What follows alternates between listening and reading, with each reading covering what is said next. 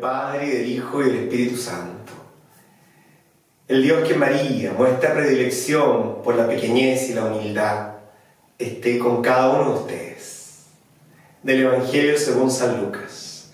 Un sábado Jesús entró a comer en casa de uno de los principales fariseos.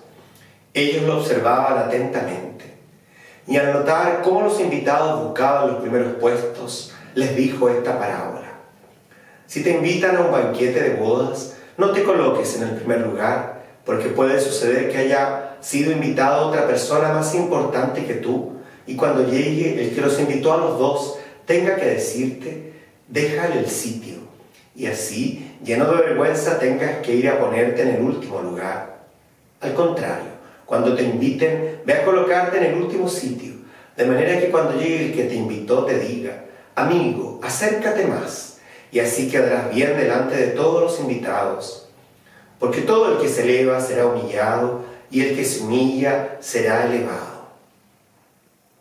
Contraria a la lógica de este mundo que busca siempre los primeros lugares, que busca aparentar, que hace lo imposible por figurar, la lógica del Evangelio es tan distinta. Jesús nos invita a escoger el lugar de los últimos, porque todo el que se eleva finalmente va a ser humillado. Elijamos más bien, como María hoy en sábado, el lugar de los pequeños y sencillos, porque Dios resiste a los soberbios y engrandece a los que son sencillos. Derribará de sus tronos, como canta la Virgen en el Magnífica, a los que creen ser algo y colocará en su lugar a los pequeños. Al modo de María, nosotros en este día renovemos esa vocación esa auténtica elección por la humildad, por la pequeñez.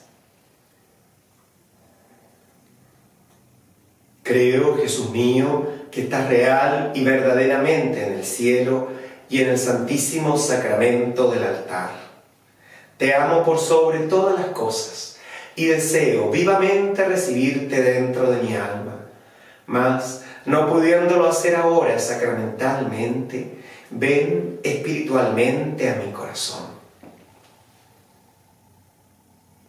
Y como si ya te hubiese recibido, te abrazo y me uno del todo a ti. Señor, no permitas que me separe de ti. Que por la intercesión de la siempre Virgen María les bendiga aquel que es Padre, Hijo y Espíritu Santo.